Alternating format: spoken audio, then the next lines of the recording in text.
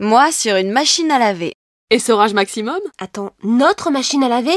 Me dis pas que t'as fait ça sur notre machine à laver Pourquoi tu crois que je me suis proposée pour la lessive? Ah, Je me disais aussi. Sur une photocopieuse, c'est pas mal non plus. C'est le mec de la compta qui m'a initié. Le capot Ouvert ou fermé? J'ai essayé les deux. Ouvert, c'est mieux, ça chauffe un peu. Ah, pas mal Et après, t'exposes les photocopes? Mieux.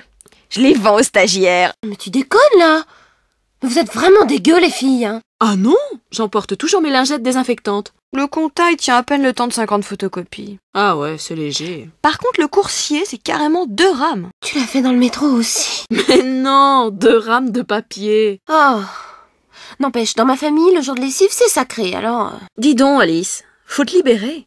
On dirait que tu connais que la couette et les pyjamas en pilou. C'est vrai ça, ma poule. T'as jamais essayé des trucs plus fous? Oh mais... Mais si euh Puis d'abord, ça vous regarde pas. Allez, quoi? T'es pas une nonne sous sédatif? J'ai trouvé. Quoi? Un truc sale? Sadomaso? Je l'ai fait... euh, Dans les douches du club de gym. Oh. Et qui était l'heureux élu Le prof de gym. Le beau mec avec des biceps à croquer? Attends, tu t'es tapé le prof de gym? Eh ben raconte, c'était comment? Bah, en fait... euh, En fait, j'étais toute seule et... Quoi? Non mais attention, j'ai vachement pensé à lui, hein. Alors ça Ma pauvre Alice. Bah quoi? Vous aviez pas précisé qu'il fallait être deux?